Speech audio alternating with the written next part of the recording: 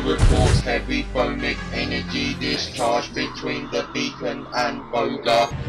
That means the humans have recently used their transmat beam. Yes, leader. Time to dock in. 16 minutes, leader.